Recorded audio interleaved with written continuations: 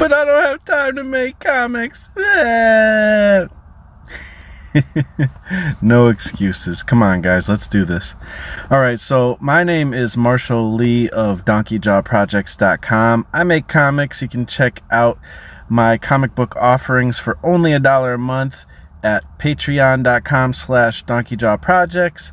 And yeah, you can check out my progress on the working artist vlog as well. But let's get to this um, idea of trying to how how to basically make comics when you have no time. Um, and the thing is, is a lot of people have busy lives.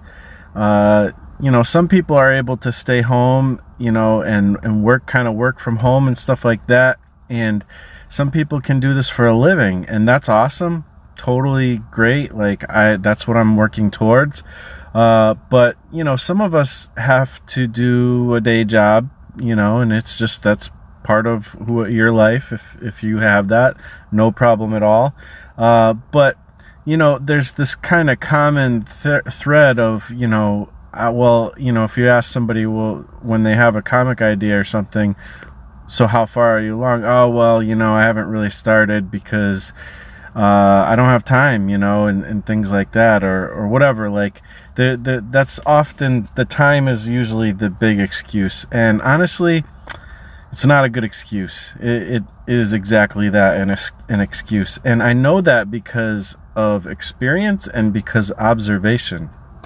So, one thing you've probably heard me talk about is the 30 days of making the 100 days of making comics for at least 30 minutes every day for at least 30 minutes. Started by Kevin Cross, and that's a challenge I've done a few times and that many others have done.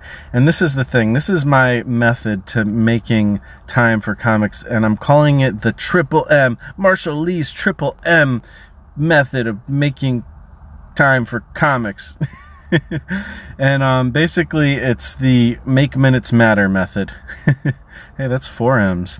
Um, so, anyways, um, you know, make make your minutes matter. And number one, start with at least 30 minutes a day. It's been proven over time and time again that no matter how busy your life is, you can most likely find 30 minutes in a day to make comics.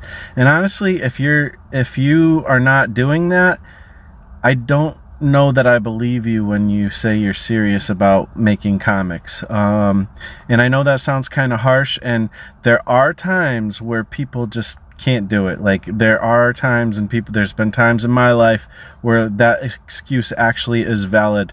But what I've come to find out is through doing the 100 days of making comics challenge and pushing through the times when I'm out you know, kind of on vacation or I have events to go to, pushing through the times when I have people over and I'm entertaining, pushing through times when I have hard times and, you know, people are going through crazy stuff in my life, um, and still getting that 30 minutes in, I've proven to myself that there's almost no actual time where I can't fit 30 minutes into a day. Um, you know, one thing you might say is, well, you don't have kids, Marsh. That's a that's a big deal. True, absolutely true. But the thing is, is I've observed observed so many other people with kids, with trials, with a day job, and still making time to make their comic at least for 30 minutes a day. Um, so honestly, the time excuse is just not a good excuse. That being said, how can we move forward? Now, again, 100 Days of Making Comics Challenge, great challenge to help you get on your feet and get to the point where you can kind of prove to yourself that you can make comics every day. At, at this point, I'm on my second year of 365 days of making comics and going pretty strong. Um, you know, because I've done the 100 days a few times and, and it's it it's more helpful for me to think of this as a daily habit for the rest of my life. So that's what I'm doing. I'm not saying everybody else needs to do that, but that's just what I'm doing right now. Um, so start with that. Start trying to make a habit for 30 minutes a day.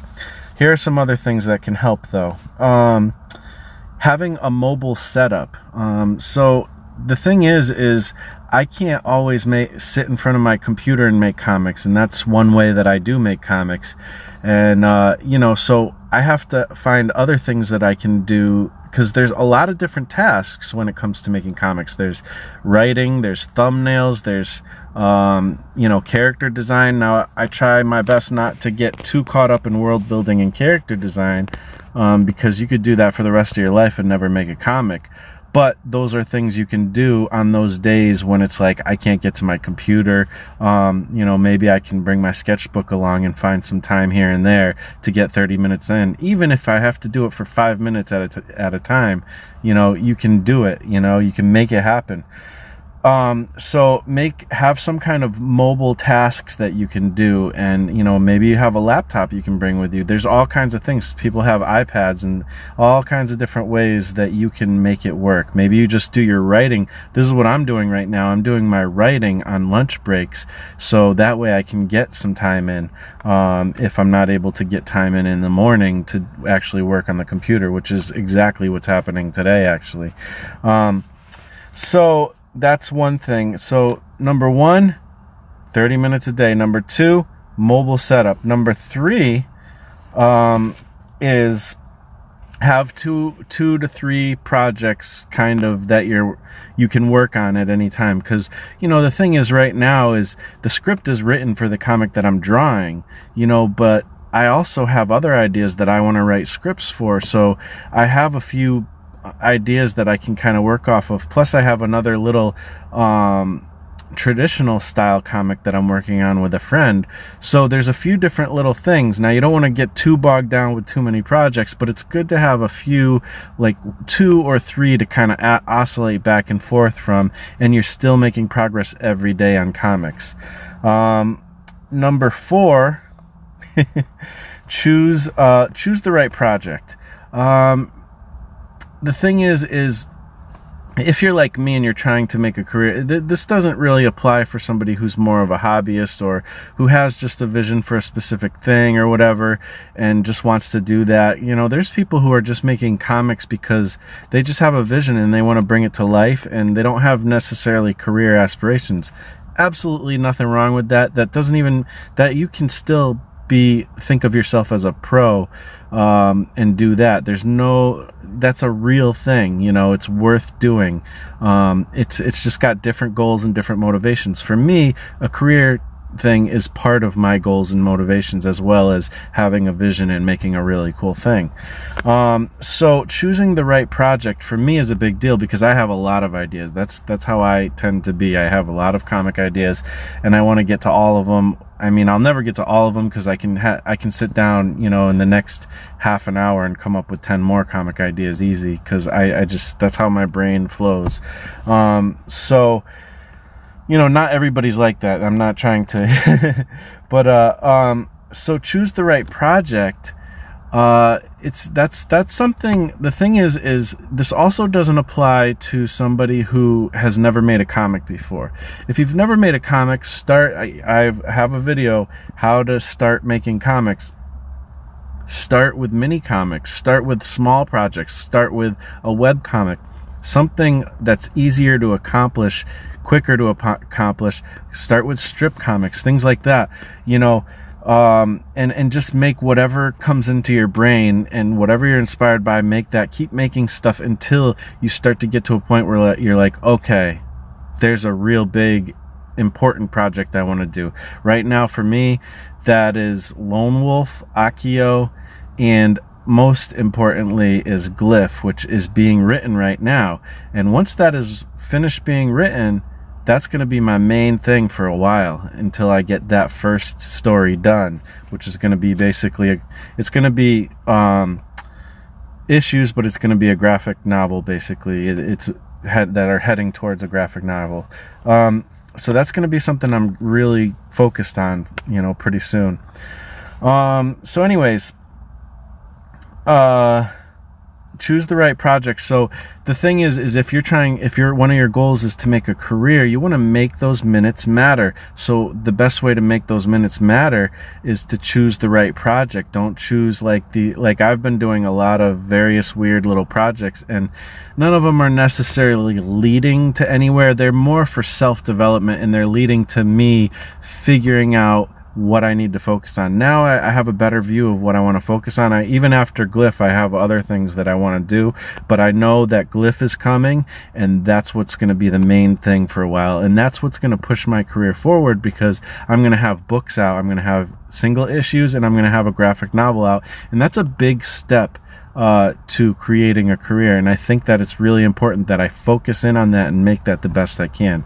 Also, Lone Wolf and Akio and stuff like that are very important to me. Um, so we got those things, and then uh, last but not least, um, rest wisely. So this is uh, let's see, I think that's five tips. That's not um, rest wisely. So um it's important to rest and and it's really like this is the thing is if you're not taking the time out to rest when you need it you're actually wasting time um, because you need we're human. We need that rest. We need that r&r to uh, you know kind of stay inspired to be able to get in the flow when it's time to work.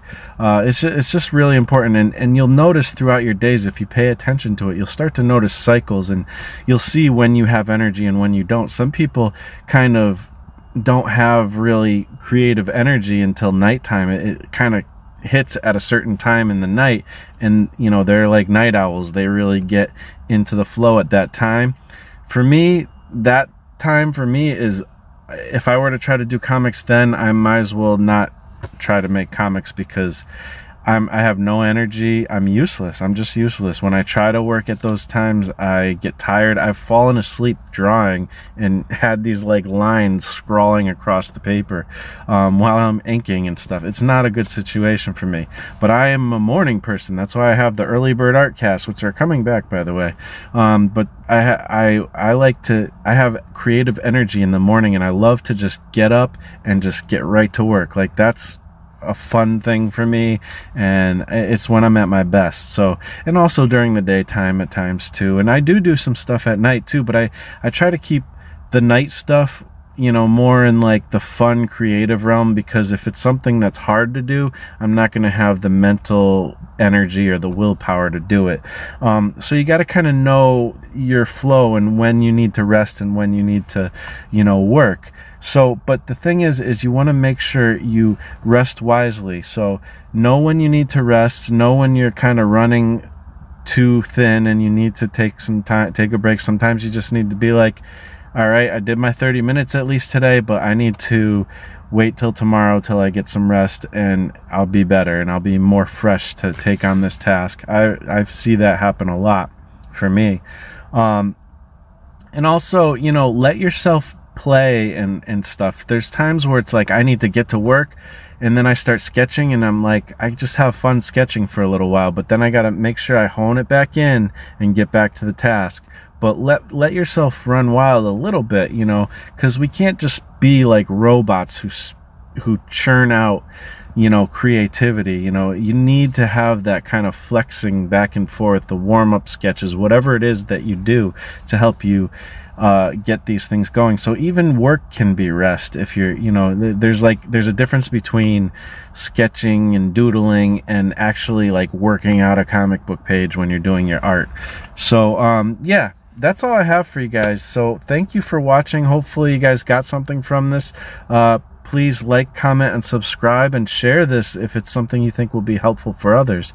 And I hope you guys are doing awesome on your comics. Make time to do your comics. Make it happen. All right. Peace out.